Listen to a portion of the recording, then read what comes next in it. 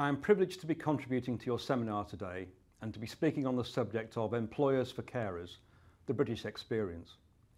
Combining work and care is already a major economic and social issue and one which demographic and economic forces will drive even higher on the agenda. I will set out the current and future context, the business response in terms of policy and practice, use my former company as a mini case study, and then share my thoughts on Employers for Carers, the organisation I am proud to chair, and to my knowledge the only self-financing, sustainable employer-led forum dedicated to supporting carers in the world. While my references are all from the UK, I know the context and response should apply broadly to Finland, if not more so. Now you might ask what gives me the permission to speak on this subject. Firstly and importantly, I have been a working carer. In my professional capacity, I was the Managing Director of British Gas for several years until the end of 2015. The UK's largest energy and related services provider with 30,000 employees, including 12,000 technical engineers. I still chair one of their subsidiary companies, and British Gas were founder members of Employers for Carers. Let me start by setting out the current context for working carers in the UK.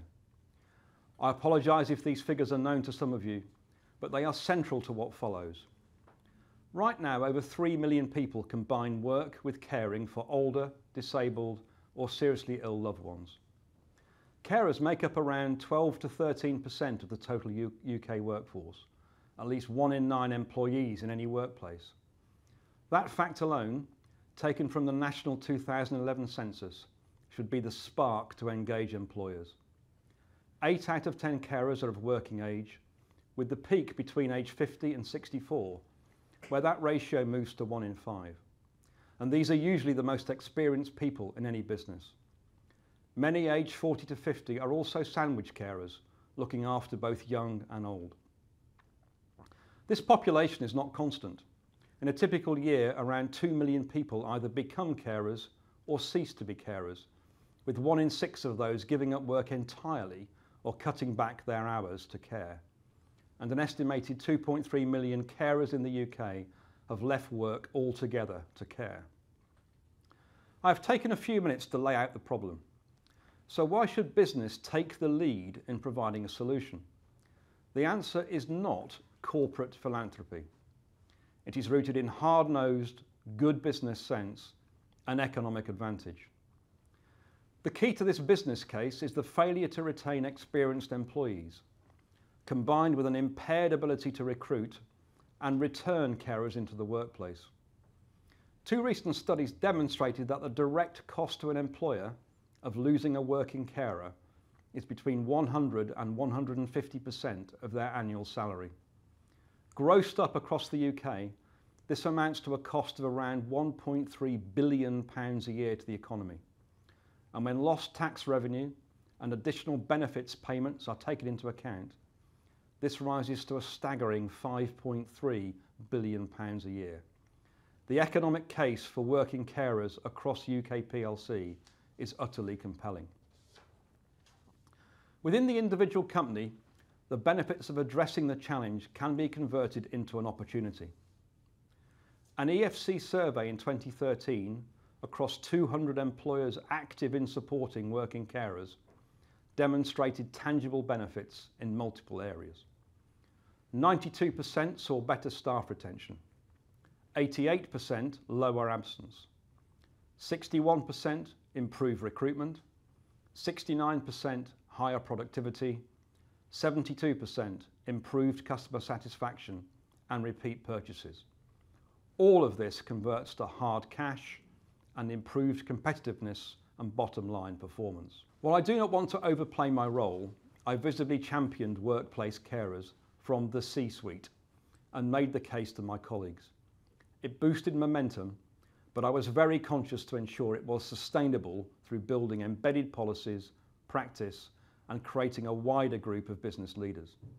And I'm delighted it is still flourishing, even though I have retired. British Gas now sees this as the flagship among its wider inclusion and diversity agenda, the social media networks for which are joining together through Yammer. One aspect I wanted to highlight has been the importance of internal communications, and encourage participation of carers, colleagues and line managers, profiling role models and celebrating the company's successes in various external awards for best practice, most recently for championing an ageing workforce. All of this mutually reinforces momentum and is raising awareness for those who are not carers today but may well become carers tomorrow. I want to turn in my last section to Employers for Carers, in shorthand EFC, and I will start with its origins. A government survey in 2000 on work-life balance had identified the scale of working carer issues. Building on that, in 2002, the European Social Fund set up a research programme on action for carers in employment, which in total was £16 million over five years, of which £2 million was channelled through Carers UK into what became EFC. This focus on carers in employment was a breakthrough first. As part of this programme, Madeleine Starr from Carers UK spent a large part of 2004 recruiting an interest group of pioneering employers, including British Gas, who were starting to recognise the significance of this emerging issue and committed to developing and communicating best policy and practice in this area. From day one, this was a business-led group focused on the business benefits of addressing their agenda while recognising the wider social policies. Five years on, in 2009, EFC was formally launched as an employer membership forum with the members of the original interest group developing into the EFC Leadership Group, which still exists today. EFC is a unique partnership between business and a national carers organisation, as far as I know. So what were the critical ingredients in launching EFC? And I do believe you can use these learnings to take less than the five years it took us. Firstly, a critical mass of employer organisations from a relatively broad constituency, large, small, different sectors, public and private. Without that, EFC could not have been a representative voice, though to be honest, on day one, it was thin on small businesses and quite a few sectors. Secondly, it set out to be self-financing through annual fees, making it genuinely a business voice independent of government. Today, the annual fee is a sliding scale based on the number of employees, with a typical 100 employee organisation paying £500 and one with 10,000 paying £3,000 or £2,000 in the public sector. In the early days, the business case was something of an act of faith, but it is continually being updated and in Finland you can take confidence from the UK example. Thirdly, it had a passionate champion from the business community in Caroline Waters, a senior HR professional in British Telecom and the chair of EFC until 2013.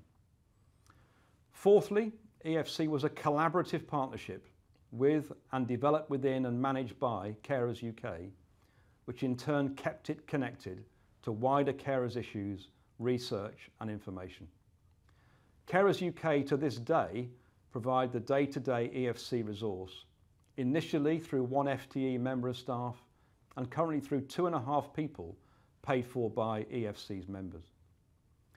Finally, in 2010, EFC agreed a key Memorandum of Understanding with all seven government departments who touch on the Working Carers agenda. This established EFC as a representative employer group with whom the government would engage on carer policy. In its first five years, EFC grew to over 60 members and worked with leading academics. It developed its own public website as a repository for all forms of best practice. It created training programs for line managers in understanding and supporting carers. It facilitated the creation of a UK-wide network of carers networks and it conducted waves of research to underpin the business case and inform and influence policymakers including the government. As chair for the last three and a half years, I've built on this strong foundation and tried to widen the membership to represent all sectors of the UK economy. We now have 110 members, representing over one and a quarter million employees, and at least 140,000 working carers using the 1 in 9 ratio. Virtually all industry sectors are now represented. We have public and private sector members, and I'm delighted to say a growing number of small businesses through an innovative umbrella scheme. These enterprises understandably find it harder to offer carer-friendly policies and indeed to spend the time talking to other businesses directly or through EFC. The paradox is that their business case is far more compelling than for a larger employer due to the impact of losing one key employee from say 20. EFC have built a brand identity, we've created a digital members portal, we're actively engaged in developing government policy, and our members willingly share best practice in a non-competitive way, even within the same sector.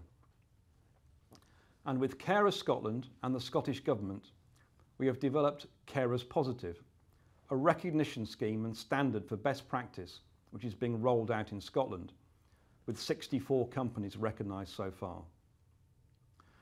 One other development of note is that working carers are still largely seen as a human resources problem, and I use the word deliberately.